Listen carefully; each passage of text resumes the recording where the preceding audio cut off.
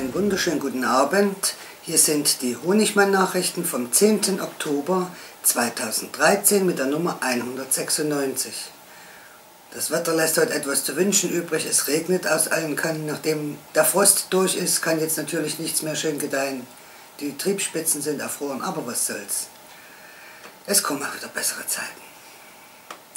Kanada.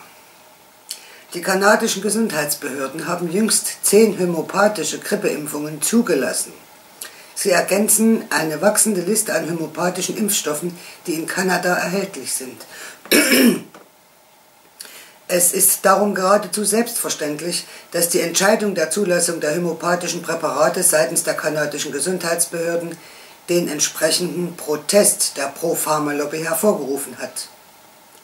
Die Skeptiker und Quackbuster allen voran Lloyd Oppel als Kanadas führenden Oberwächter gegen medizinische Charlatanerie, Vorsitzender der British Columbia Medical Association für Gesundheitsvorsorge, haben den Kampf aufgenommen, informierte yamedo.de. Welt Deutschland Die meisten glauben, dass die hierzulande gesammelten Altkleiderspenden direkt in die Katastrophengebiete der Welt gehen.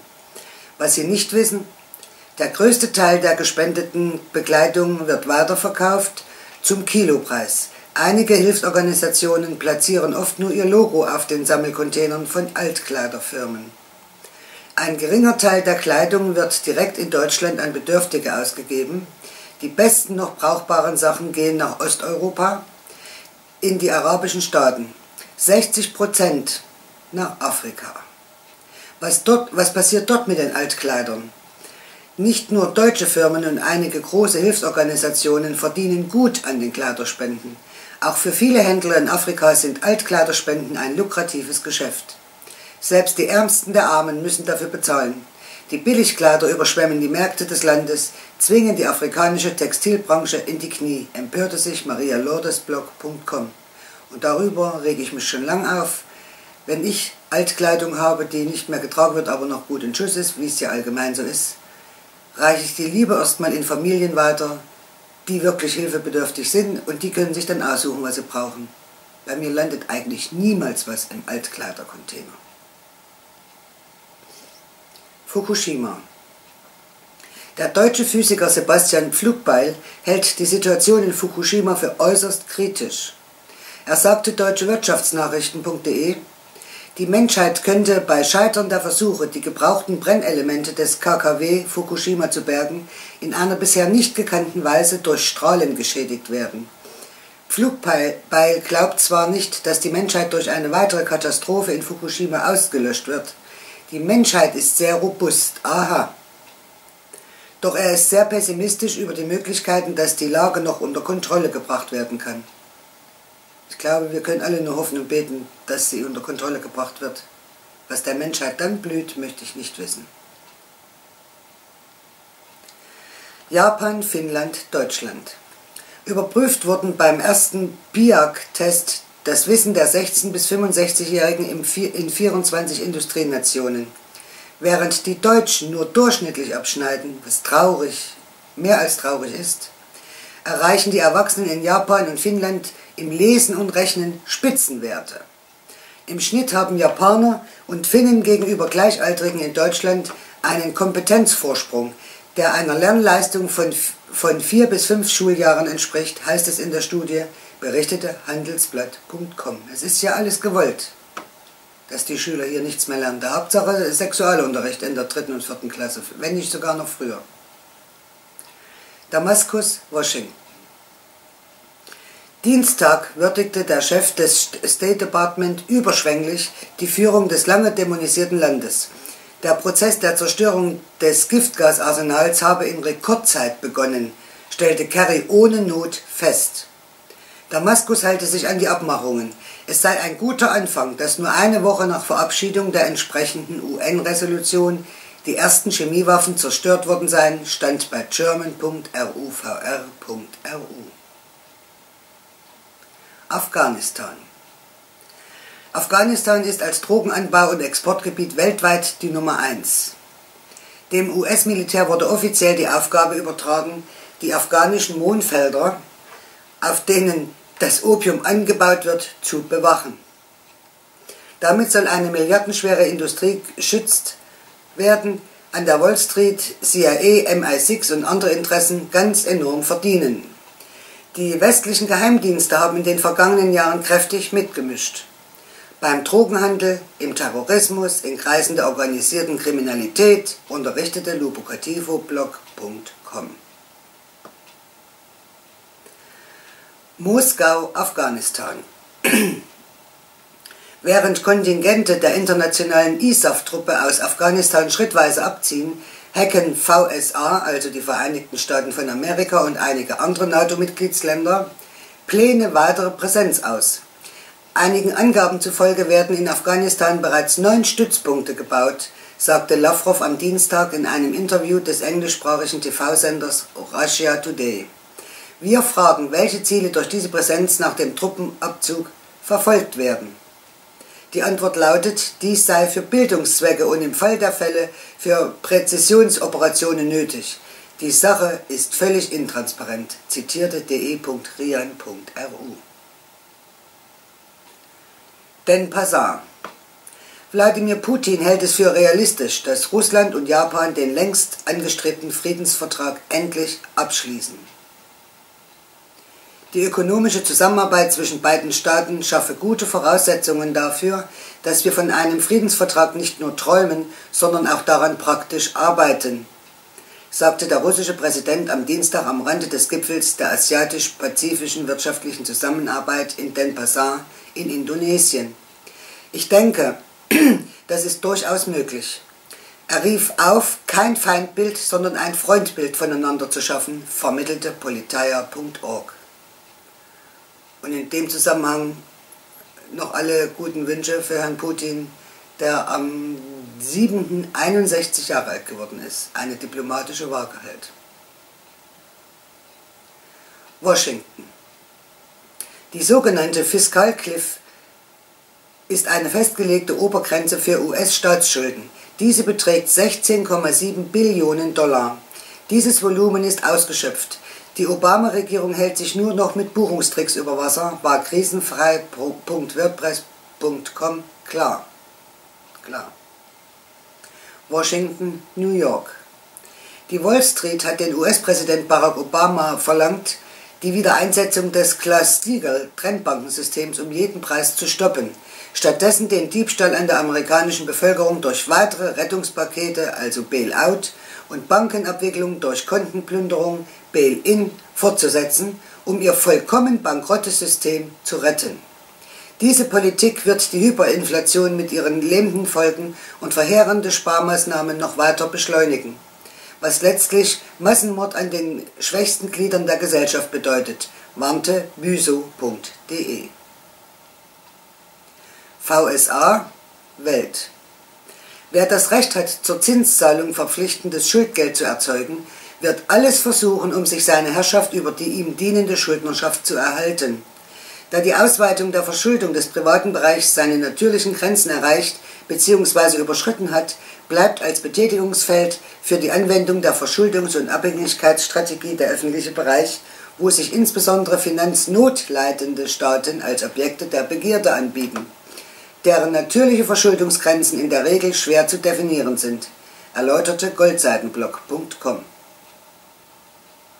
EU Nochmal deutschewirtschaftsnachrichten.de in der Zeit von 2007 bis 2013 flossen 347 Milliarden Euro über die sogenannten EU-Regionalfonds in die verschiedenen Mitgliedsländer. Doch die Gelder werden nicht immer für das genutzt, wofür sie zur Verfügung gestellt wurden. Es ging um ein Straßenprojekt in Süditalien, in Kalabrien. Teile der A3 sollten repariert und erweitert werden. Allerdings landeten die EU-Gelder in der Tasche der Mafia, sagte Johannes Hahn, EU-Kommissar für Regionalbeihilfen, dem EU-Observer. Das ganze Geld verschwindet immer irgendwo herrlich. Müsst ihr mal die Spur kennen. Europa. Was bedeutet eigentlich Heimat? Was, was Heimat bedeutet, wirst du erkennen, wenn du keine mehr hast. Was bedeutet dir deine christliche Kultur? Du wirst sie bitter vermissen, wenn du erst einmal als Christ in einer fremden, nicht christlichen Kultur leben musst. Was bedeutet dir dein Volk? Du wirst schmerzlich erkennen, dass du nichts bist ohne dein Volk.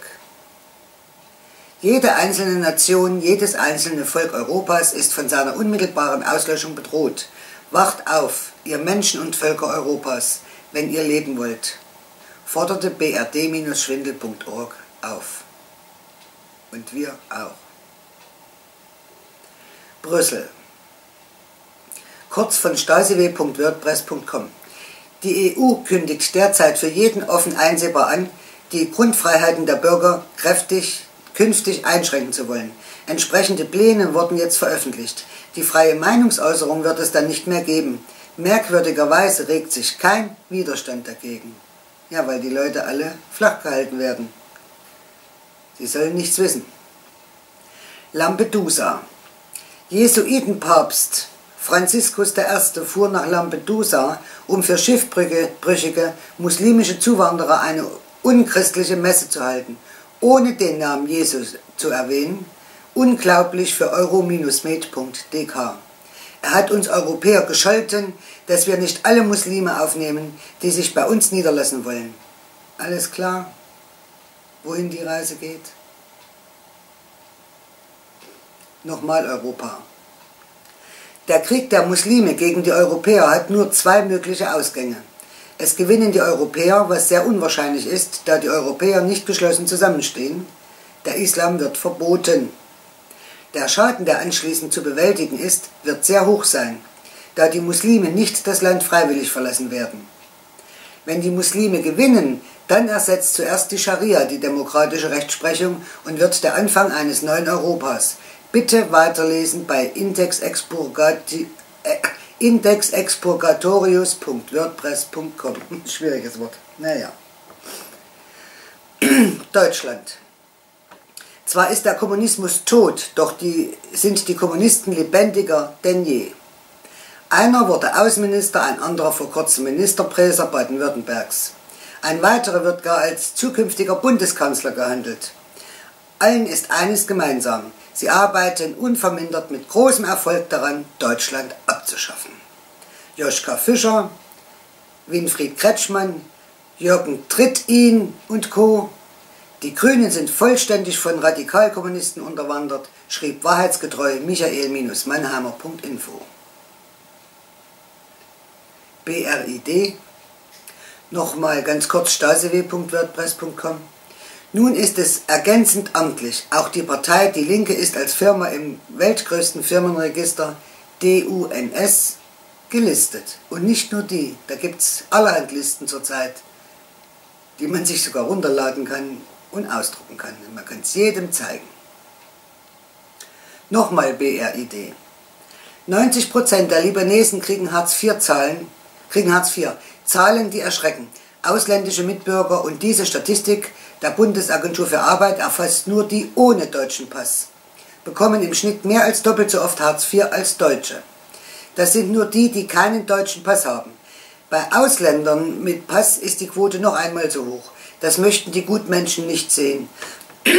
Im Gegenteil, sie möchten, dass noch mehr Ausländer zu uns kommen. Nach Berechnung des Statistischen Bundesamtes wurden seit dem Jahr 2000 mehr als 12 Milliarden Euro an Asylanten verschleudert. Und wir leben hier alle an der Armutsgrenze. Circa 6,85 Millionen Hartz-IV-Empfänger gibt es in Deutschland. Wie viele davon sind Ausländer? Circa 6 Millionen bei circa 12 Millionen Ausländern.